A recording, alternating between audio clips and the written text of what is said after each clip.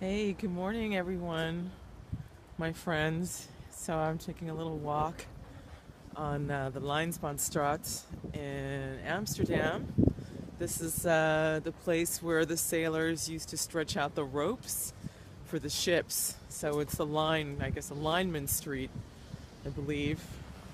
Walking by a big canal, of course. There's something with canals here. It's definitely fall now, very nippy. You can see the leaves on the trees are all golden.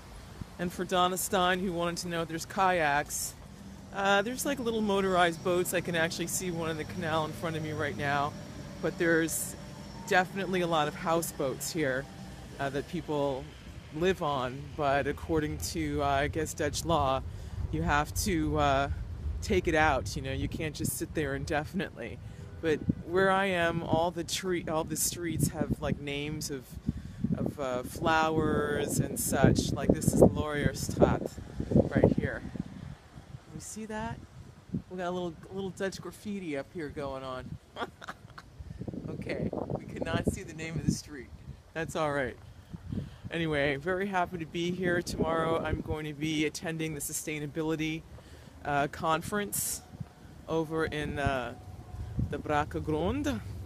That's going to be pretty much all day. And then tomorrow night will be the opening party at Panama. Uh, and then we just keep going.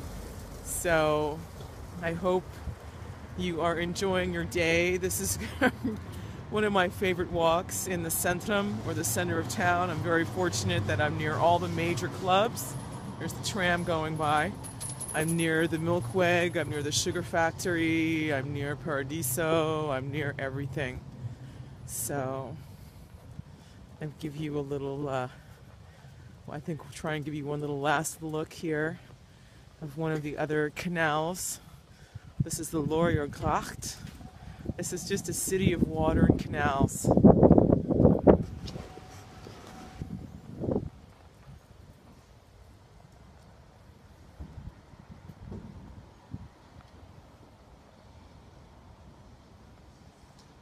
There's the ducks.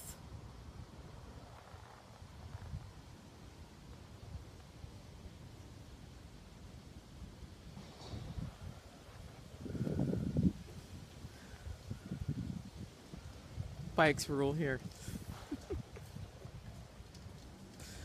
Bye.